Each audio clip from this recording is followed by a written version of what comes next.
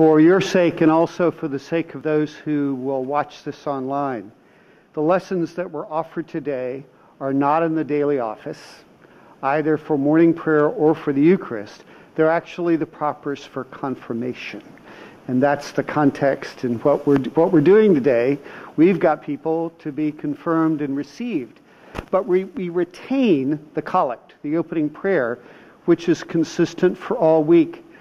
And I want you to notice the collect and Paul's epistle use the very same word. And the word is bondage. We first pray that God would set us free from the bondage of our sin. Bondage meaning slavery. We're asking God to do something for us that we cannot do for ourselves. We do not have the capacity to be able to take the chains off our wrists or off our ankles, as it were, and set ourselves free. And so the cry of this week is for God to do something that we cannot do for ourselves.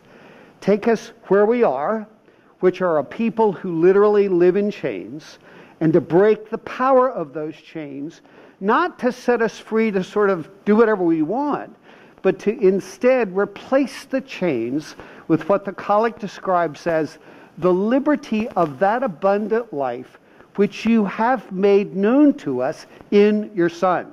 In other words, the prayer is that God would break the shackles that continue to bind us to patterns of sin and death to which we are in slavery. Break those and take us into a liberty that looks like Jesus. In other words, it's not a liberty that looks like the best Christian I know, or the liberty of that person who lives in the highest level of self determination, but rather it's in a liberty that looks like Jesus. It's what Paul describes when he talks about in Colossians the measure of the stature of the fullness of Christ.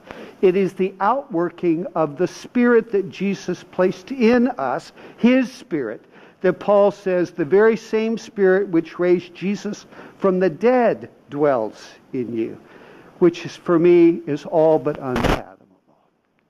That God would pour that kind of life and that kind of power into our mortal frames.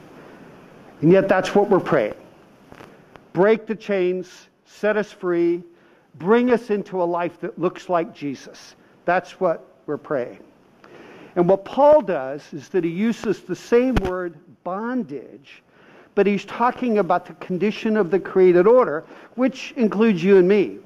And he describes it as a bondage to decay, meaning the inevitability of decay.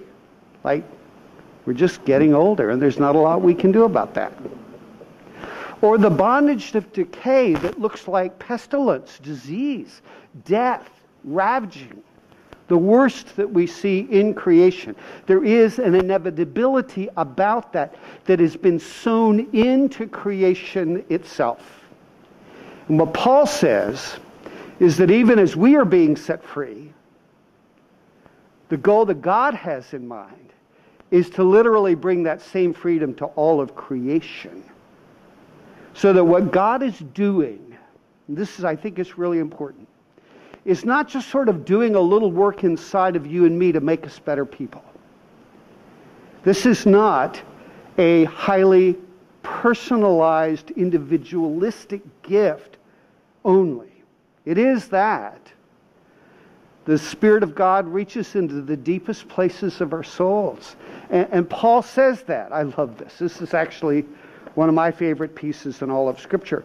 When Paul talks about the fact that there is, by the presence of the Spirit of God, a groaning in us that's even deeper than what we can articulate. Too deep for words.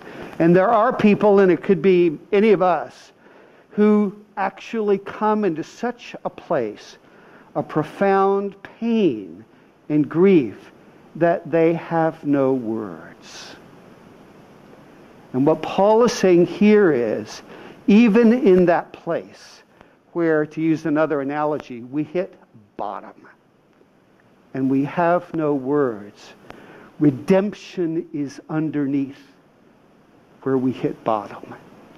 And that God is at work in us, even though we cannot articulate it, even though it's bigger and more deep than anything that we can imagine. We think we will never, ever get out of a, such a profound sense of pain and loss, trauma, brokenness, that even in those deep, deep places, God is at work. That's what redemption is. That God is at work, weaving and using not only that as a part of the fabric of all that creation endures, that I am not alone in my trauma, but more importantly than that, that just as God is at work in redeeming creation, so he is also at work redeeming the deepest and darkest places that exist inside of me and inside of you. As Corrie ten Boom says, who was freed from a Nazi concentration camp and therefore knew horror and trauma like few of us will ever know. She said it this way there is no pit that he, meaning Jesus, is not deeper still.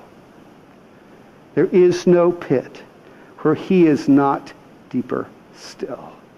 And so, what we're invited into is we say yes to Jesus Christ, is his work within us that is deeper than anything that we can imagine, and that is a part of what God is doing literally in the cosmos, in the universe, working out redemption even in the deepest, in the worst places of pain. And that there is a liberty that we see in Jesus that God desires to work in us and in all of creation itself. And that's a liberty that has a sort of a sure footedness to it that allows us to enter into even the deepest pain of human existence because we know, because this is what God is working in us, and we see it in Jesus, that death is not final. That even the worst that life has to offer, as it were, does not have the last word. And in fact, I would go so far as to say in the gospel lesson to take up one's cross is to choose to live at cross purposes with the finality of death, with the inevitability of life only as we can see it with the naked eye.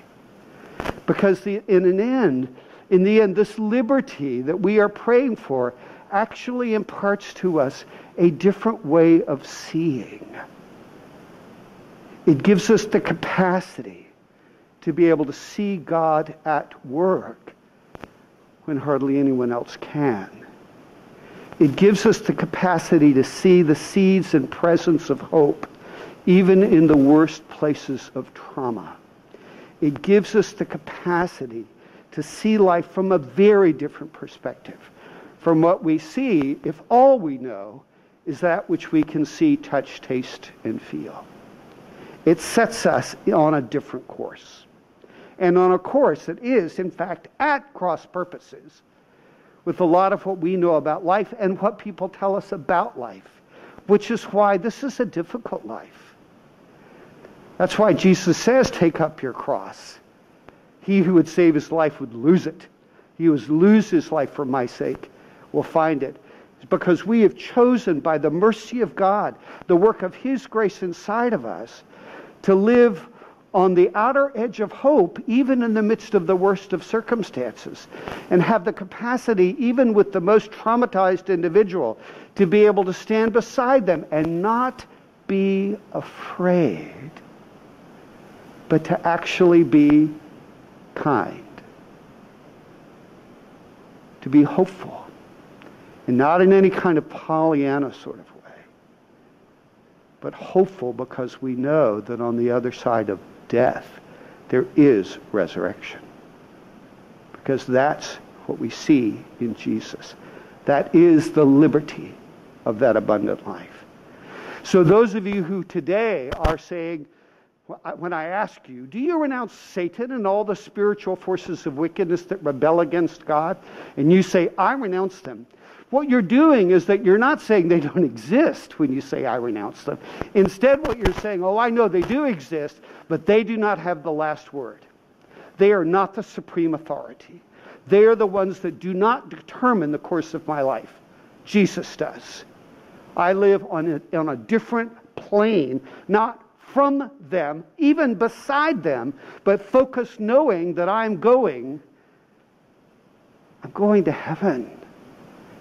And I'm a part of a foretaste of that kingdom even now. And that I can stand in those places of deep darkness, drenched in the presence of God.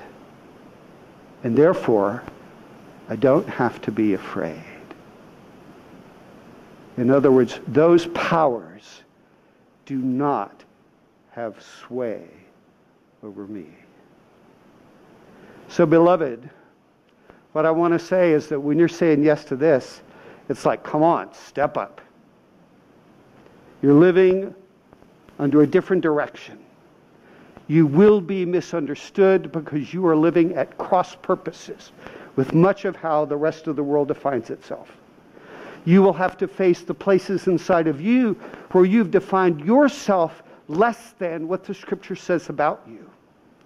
You will need to learn to see yourself as well as this world differently and in accordance with what Jesus says about what it means to be human, what life is like, and what it means to be a redeemed child of God. But it is, in fact, the signs of the liberty that God is working within us.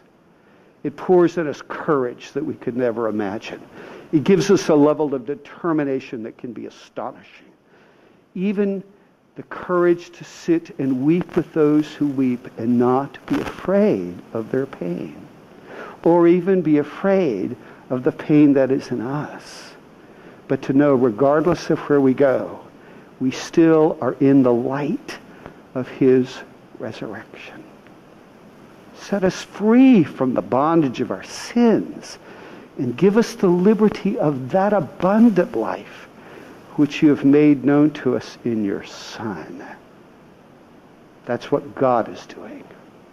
And it is that to which we say yes. Amen.